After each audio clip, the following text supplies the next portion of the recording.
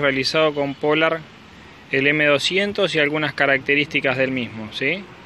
Ahí está, jueves 30, nos pone el iconito de la noche, recién volvimos hace un ratito. Tenemos dos botones, el de acá es para volver hacia atrás, estamos en la pantalla de la hora, así que no, no hay más pantalla para atrás.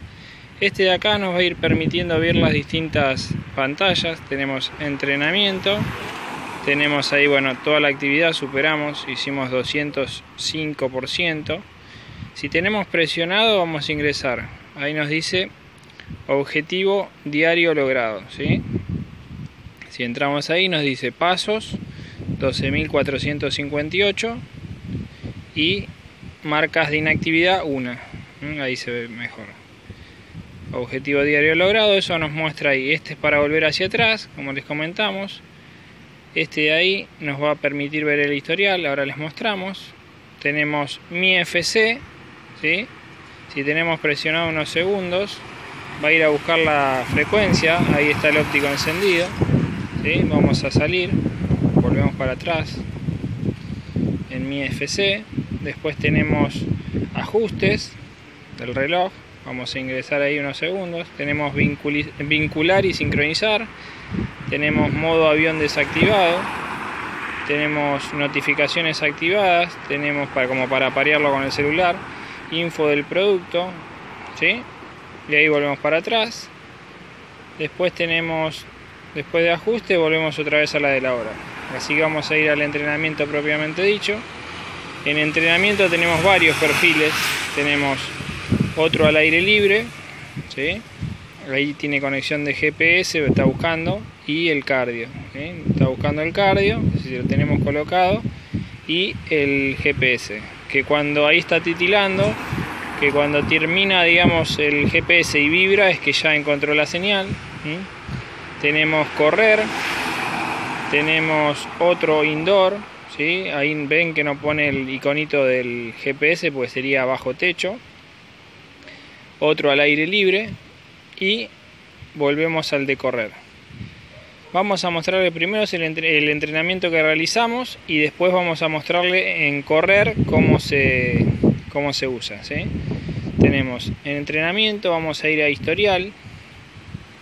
Ahí en historial entramos. Ahí tenemos el día de hoy.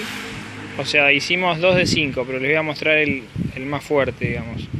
Ahí dice 30 del 11, correr, entramos ahí. Duración fueron 5 kilómetros, 21.47. Ahí tenemos la frecuencia media, fue de 159 y la máxima de 175. Después tuvimos distancia, como les comenté, 501. El ritmo medio de 421 kilómetros y el ritmo máximo de 307. Las calorías 309 y vuelve otra vez al, al crono. Más información, o sea, parciales y demás, eh, las pasadas de esos 5 kilómetros y demás, lo van a ver en Polar Flow, en la aplicación de, Polar. Volvemos para atrás.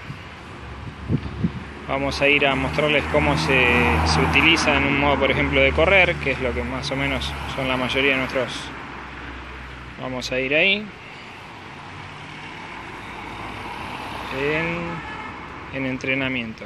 Entramos ahí, correr, como les decimos, va a buscar el cardio y el GPS. ¿sí? Ahora cuando encuentre GPS, ya directamente empezamos con la actividad.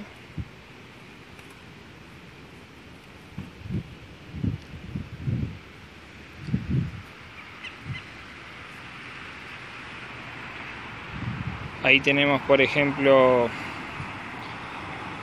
si iniciamos ahí tenemos unos segundos, va a poner grabación iniciada y ahí empieza, ¿sí? Ven la distancia y la frecuencia abajo, arriba y abajo la distancia, la distancia y el, ritmo cardíaco.